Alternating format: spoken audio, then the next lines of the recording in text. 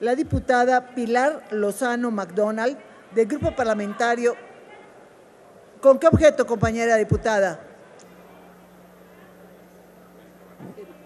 Que las personas adultas mayores, no todas son abuelitos y abuelitas.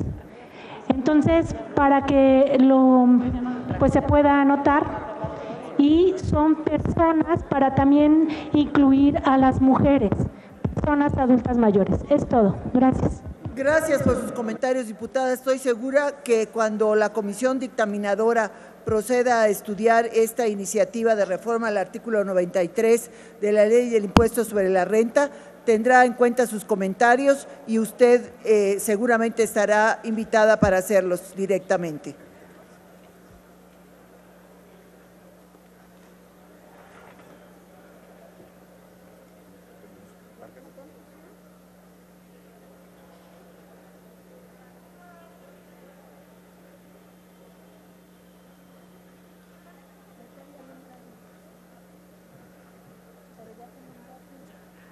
Gracias, amiga. Con la venia, Presidenta. Estimadas diputadas y diputados, diariamente las mujeres estamos expuestas a violencia física, verbal y acoso sexual en los espacios públicos, tanto en calles, el transporte, centros comerciales, mercados, parques y muchos lugares más. La violencia contra las mujeres está presente en la vida cotidiana, en el hogar, en los barrios, en el trabajo, la escuela, las instituciones públicas y privadas e incluso en las redes sociales. Lamentablemente las mujeres nos encontramos expuestas y vulnerables particularmente en el espacio público, donde son comunes los comentarios obscenos, tocamientos, persecuciones, violaciones, trata de mujeres y hasta feminicidios. Esta situación obliga a modificar los comportamientos para que nos protejamos como limitar los horarios de desplazamiento o actividades, viajar siempre acompañadas, cuidados de comportamiento o de la forma de vestir, evitar ciertos lugares, cambiar rutas de desplazamiento o la modalidad de transporte. La realidad cotidiana de las mujeres en México se traduce a limitantes de la libertad de desplazamiento y formas de vida que se reflejan en la capacidad de desarrollo educativo, laboral, de recreación y en la participación de la vida pública.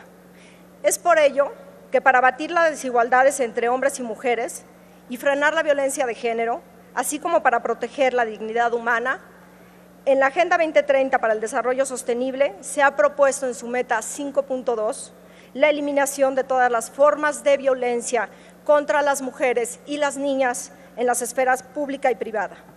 Asimismo, en febrero de 2017 se establece el compromiso global para la acción ciudades y espacios públicos inclusivos, sostenibles y seguros para las mujeres y las niñas, que reconoce que el acoso sexual y otras formas de violencia sexual contra las mujeres y niñas en espacios públicos y privados limitan sus libertades, decisiones y derechos, por lo que establece como objetivo crear ciudades y espacios seguros para las mujeres. No obstante, el acoso sexual en el espacio público sigue siendo un problema poco atendido por las leyes y políticas públicas, pues existen vacíos legales en cuanto a su reconocimiento y hay poca información sistematizada sobre la respuesta jurídica en cuanto a normas penales y también normas administrativas. Por lo que es tarea del Estado formular leyes, estrategias y políticas que contribuyan a generar una cultura de cero tolerancia al mismo. De las víctimas de delitos sexuales en México, 72% son mujeres y 28% hombres. Más de la mitad de las agresiones registradas en la encuesta de cohesión social para la prevención de la violencia y de la delincuencia ocurren en el espacio público. Conforme a la encuesta nacional sobre la dinámica de las relaciones en los hogares del 2016, a nivel nacional, una de cada tres mujeres a lo largo de su vida ha sido objeto de frases de carácter sexual que la molestan o la incomodan y 12.6% han sufrido tocamiento o han sido manoseadas sin su consentimiento. La calle y el transporte público son los lugares donde las mujeres son más violentadas. 66.8% de las mujeres indicaron haber sufrido violencia sexual en la calle o en algún parque. 8.9%, haber sido obligadas a ver escenas o actos sexuales tales como exhibicionismo. Ocho de cada diez mujeres indicaron que la persona responsable de estas agresiones había sido un desconocido. A nueve de cada diez mujeres alguna vez les han hecho sentir miedo de ser atacadas o abusadas sexualmente. En las ciudades hay un alto porcentaje de acoso y violencia sexual contra las mujeres en el transporte público. En el caso específico de la Ciudad de México, el 96.3% de las usuarias señaló haber sido víctima de acoso sexual y en el cual se presentan con mayor frecuencia en el metro, en un 72.9%, la calle 70.4%, microbuses 57.9% y paraderos con un 36.7%.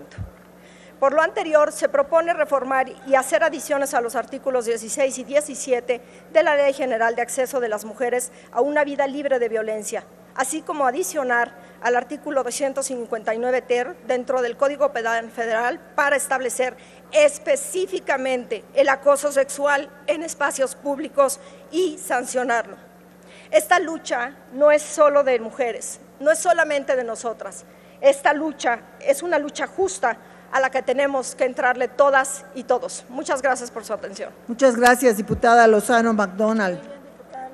Túrnese a las Comisiones Unidas de Igualdad de Género y de Justicia para dictamen.